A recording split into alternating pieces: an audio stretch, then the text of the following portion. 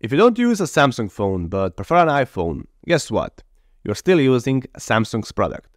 And even if your laptop or TV isn't made by Samsung, they've still got a hand in it. So, what exactly are these products? And how has Samsung managed to be everywhere even if you don't see their name? Samsung is much more than a phone and electronics brand. Many companies depend on Samsung, for example, Apple. Samsung is more than a company. I mean, which company has their own city? But that's nothing. This is the largest building in the world, Burj Khalifa. Guess who built it? That's right. Before Burj Khalifa, Petronas Towers were the biggest building in the world. Guess who built that? What you won't believe is that this tank was also made by Samsung. And let's not talk about hospitals, hotels, and universities they own. Join us in this crazy ride where we will explore what Samsung made and why. To answer the question, first we need to see the unbelievable beginnings of this giant. In 1938, the company started by not selling the world's first phone, but rather noodles and vegetables. The founder of this grocery store was a then 20 year old Korean named Lee Byung Chul. Lee said that he started Samsung for only one reason to set a goal for himself, and that's why he had a bigger vision for Samsung. You can see that in the name of the company. In Korean, Samsung means three stars. Now, if you see a product review and it has 3 stars, it's a meh product. But in Korea, the number 3 means something big and popular. And it was big and popular. They had 40 workers trading and exporting items in and around the city of Daegu. But soon, everything would change. The company would be moved to Seoul because the Korean War started. Lee got an idea to establish a sugar factory.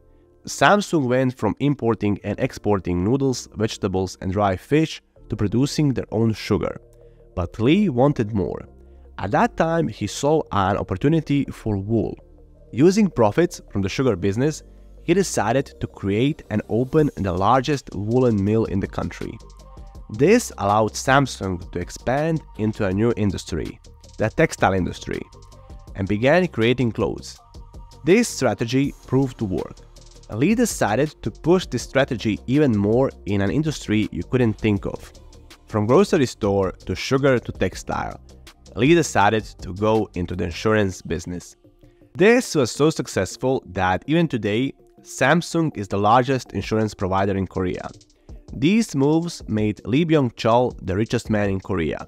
He was so rich that in the 1960s he acquired three of the largest commercial banks in Korea insurance firms, and businesses that specialized in cement and fertilizers.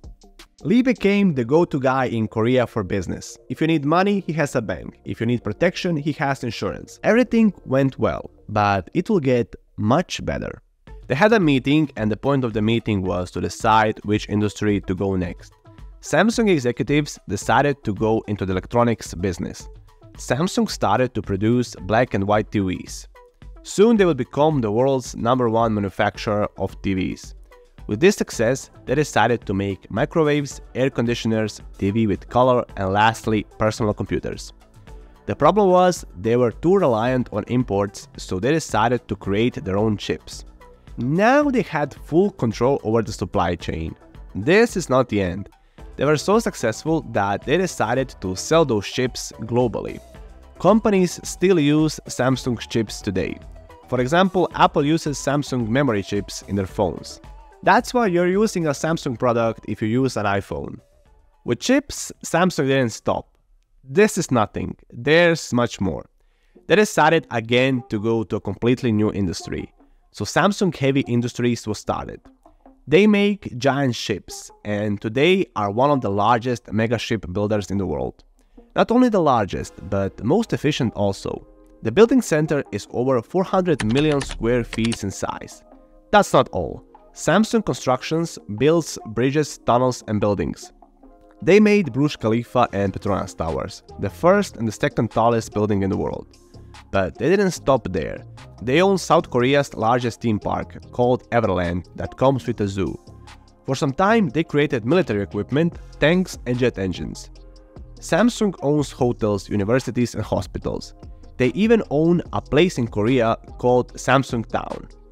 The main question is, why?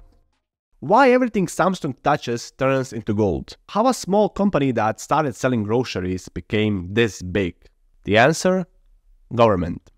Some businesses in Korea, including Samsung, got favorable loans and special tax break from the government to expand the economy. The government reduced taxes to 50% to companies operating in the electronics business, and they banned outside electronics companies. This left room for massive growth because the government gave them basically free money.